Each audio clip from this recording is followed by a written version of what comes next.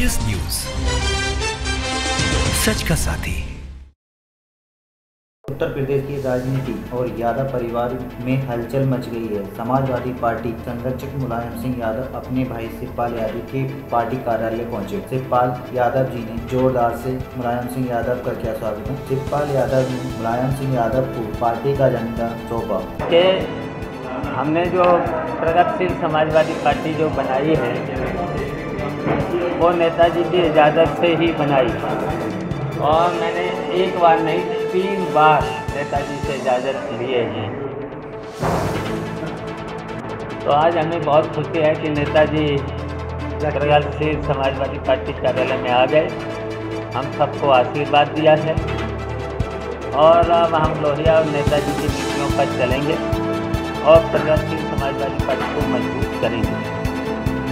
और हम सभी समान विचारधारा के जितने भी दल हैं, उनको जोड़ेंगे।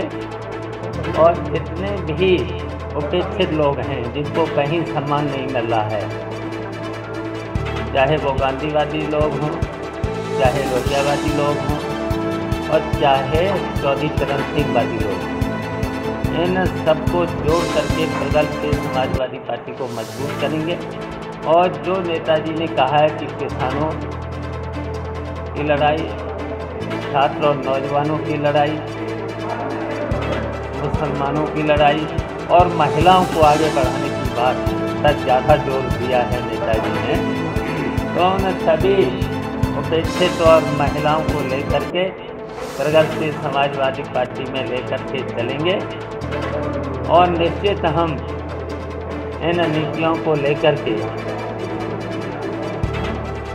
देश और विदेश से भारतीय जनता पार्टी की सरकार को उखाड़ फेंकने की तैयारी में हम लोग लगेंगे और निश्चित हम उन्होंने आपको इस संबंध में हम किसी का टिप्पणी नहीं करते हैं।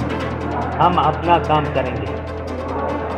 जो नेताजी ने आज हम लोगों को संदेश दिया है लोहिया जी के आदर्श और सिद्धांतों पर चलकर के नेताजी की नीतियों पर जो संदेश हमें दिया है। किसानों, नौजवानों, छात्रों, मुसलमानों और महिलाओं, की लड़ाई को हम लोग आगे बढ़ाएँगे। तो यही हमें आज संदेश भी दिया है, आज आशीर्वाद भी दिया है। तो इन्हीं को हम लेकर के आगे बढ़ेंगे। और निश्चित हमें सफलता। देखिए, नेताजी ने कहा है कि राष्ट्रीय सम्मेलन बुलाएँ तो हम बहुत जल्दी राष्ट्रीय सम्मेलन बुलाएँगे। और नेताजी को हमारी तरफ़ से तो मैंने ऑफ़र भी दे दिया है, राष्ट्रीय अध्यक्ष का और इसके साथ साथ हमने से भी चुनाव लड़ने के लिए नेताजी को ऑफ़र दिया है। प्रगतिशील समाजवादी पार्टी से लड़े।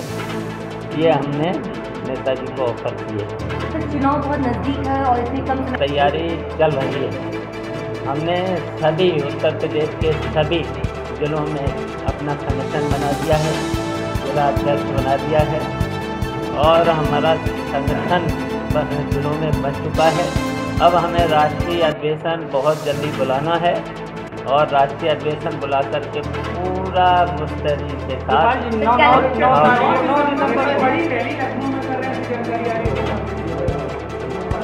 अब बहुत जल्दी हम प्रयास करेंगे। और बहुत जल्दी बहुत जल्दी हम अपने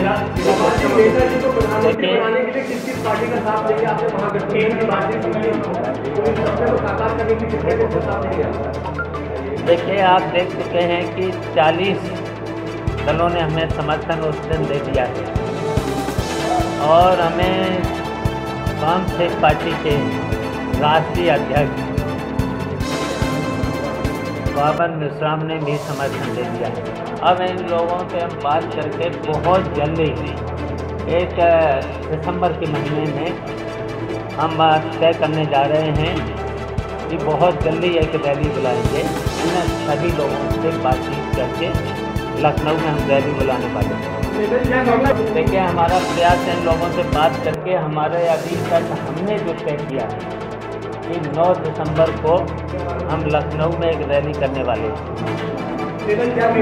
इनमें नेताजी से अभी हम निमंत्रण नहीं दे पाए हैं। जब हम तय कर लेंगे, उसके बाद नेताजी को निमंत्रण देंगे। अब मैंने अब मैंने ऑफ़र किया है। मैंने ऑफ़र किया है, जब हमारा राष्ट्रीय अधिवेशन होगा, उसमें सब तय हो जाएगा। अभी क्या बता दूँ